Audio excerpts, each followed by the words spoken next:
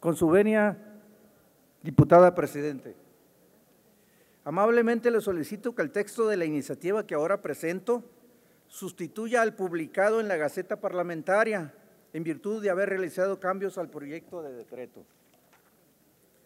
Con la facultad que me confieren los artículos 71, fracción segunda, 72 y demás relativos a la Constitución Política de los Estados Unidos Mexicanos, así como en los artículos 6, numeral 1, 77 y 78 del reglamento de la Cámara de Diputados, someto a la consideración de esta honorable Asamblea iniciativa con proyecto de decreto por el que se abroga el decreto por el que se establece el horario estacional que se aplicará a los Estados Unidos mexicanos al tenor de la siguiente exposición de motivos.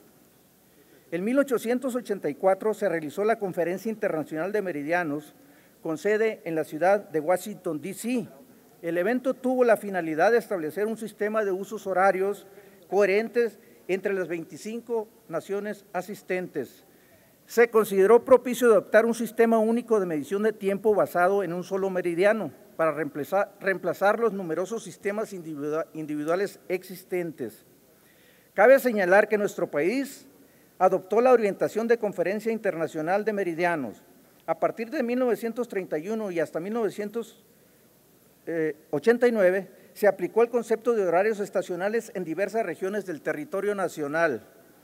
Es a partir del decreto presidencial de 1996 que se establece el sistema de horarios estacionales denominado horario de verano con alcance para todo el territorio nacional con una duración de siete meses, del primer domingo de abril al último domingo de octubre. Después de los primeros años de aplicado el horario de verano, el 29 de diciembre del 2001 fue promulgada la Ley de Sistemas de Horarios en, en, los Estados Unidos mexicanos para establecer el sistema normal de horarios que regirá en todo el territorio nacional, así como la forma en que dicho sistema normal de horarios podría ser modificado. En nuestro país, el horario de verano fue concebido e implementado específicamente como una alternativa para el ahorro de energía, considerando además que por priorizar las actividades en las horas de mayor disponibilidad de luz solar se verían, se verían beneficiados la economía a través de los negocios, el comercio y la productividad. Sin embargo, los resultados observados a la fecha en cada uno de los supuestos beneficios resultan discutibles. El ahorro de, energía derivado de la aplicación del horario de verano en el territorio nacional fue sustentado principalmente en el ahorro diario derivado de una hora más de iluminación artificial y la disminución en el consumo de energía. La realidad es que para los usuarios del servicio eléctrico en el país, tal ahorro de energía, si es que existe, no se ve reflejado en la facturación del servicio. La situación es que después de un periodo de 23 años de aplicarse los usos horarios estacionales en el país, existe el consenso general de dejar de aplicar el horario de verano.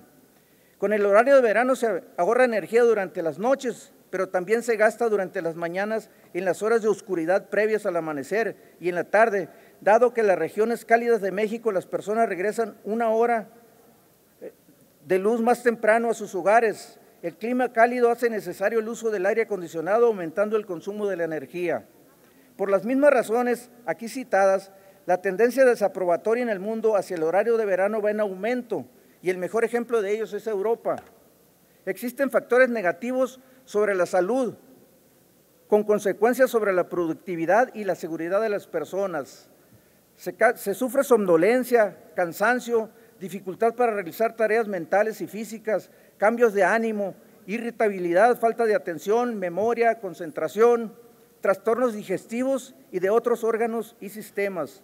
Los periodos óptimos de sueños circadianos no sincronizan con los horarios de sueño reales. El cambio de luz de la mañana a la noche es lo que aumenta este retraso.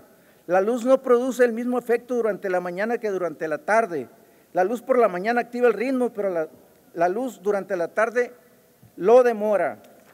Expuesto y fundamentado lo anterior, me permito presentar la siguiente iniciativa con proyecto de decreto por el que se abroga el decreto por el que se establece el horario estacional que se aplicará a los Estados Unidos mexicanos.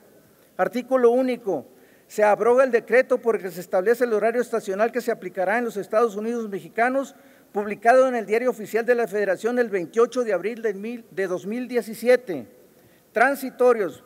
Primero, el presente decreto entrará en vigor a partir del día primero de enero del año 2020.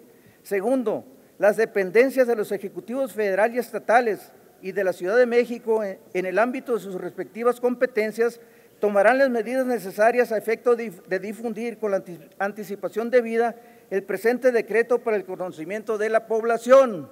Solicito se inserte íntegro en el diario de los debates el texto de la presente iniciativa. Por la generosidad de su atención, muchas gracias. Es cuanto, diputado. Muchas gracias, diputado Ayala Bobadilla. Túrnese a las Comisiones Unidas de Gobernación.